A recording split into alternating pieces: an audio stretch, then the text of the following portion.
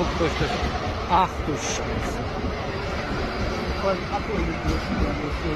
Ach du Scheiße.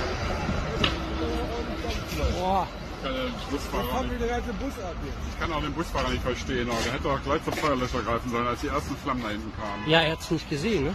Hat sich gesehen? Oder? Ich stehe schon daneben neben dem Bus. Oh, das wird immer schwärzer doch. Oh. Oh, aber das Nebengebäude. Da, ach du Scheiße. Jetzt geht, jetzt geht richtig ab.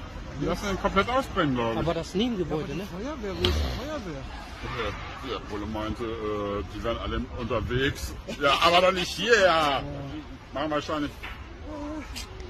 Heftig. Lassen wir echt den Bus Wir ausbrennen. kommen jetzt hier nicht weiter. Die, äh, die Straßenbahn fährt hier nicht durch.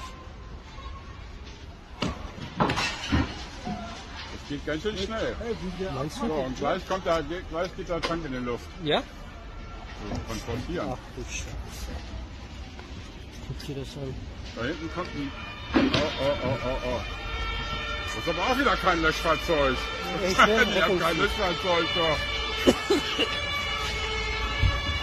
Guckt euch das an. So, und jetzt noch hier auf dem Bullenwagen einen Unfall Was ist denn jetzt noch im Krankenwagen? Wofür das denn? Einsatzfahrzeug. Guckt euch das an. Elektrobus, ne? Ja, was will er denn? Kommt jetzt ein Spritzenwagen? Ist doch eh zu spät. Der Bus ist doch gleich weg. Boah, wie heiß das ist, ne? Wie warm das ist. Mann, das war im Heck so ein kleines Feuerchen, als das anfing.